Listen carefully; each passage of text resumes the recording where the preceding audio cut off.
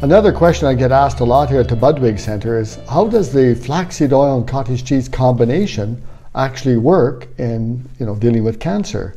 Well, I've got a quotation right here from one of Dr. Johanna Budwig's books. Here's what she says. Solar electrons are especially high in essential fatty acids as found in flaxseed oil, giving them a negative electrical charge. In contrast, the sulfurated amino acids, which are very plentiful in the cottage cheese, they have a positive charge. So this provides the basis for an electrical circuit, but of course in a biological setting. Flaxseed oil is the electron donor, she says. They store energy and release it on demand.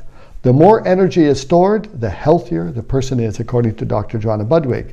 Now, she goes on to say that flaxseed, which is very rich in essential fatty acids, but here's the problem on its own, it does not easily enter the cells of the body because it's not water soluble.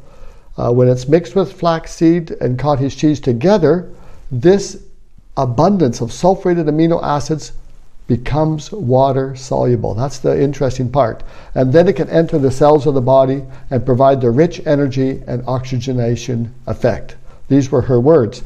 Now, experiments have shown already that in the 19th century, the animals that were fed a high fat diet without protein died. Likewise, on the other hand, when they were fed a high protein diet but without fat, they died. Well, they died an early death. But when they were fed flaxseed oil and protein together, this quickly resolved health issues and vitality.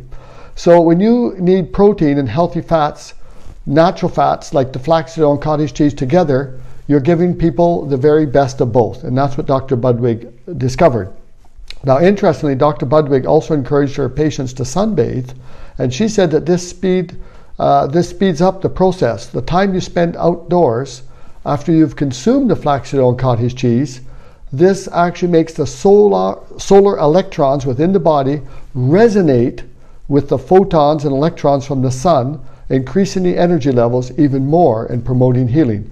I know it's all a bit technical, but the idea is basically this that the negative charge of the flaxseed oil and the positive charge of the sulfurated proteins in the cottage cheese, these together, that's what makes that electrical circuit. And that's what heals the person and helps the person to get better. And that was her secret. And she said, the sicker you are, the more you need to be outdoors, that makes everything work even faster. That was her answer.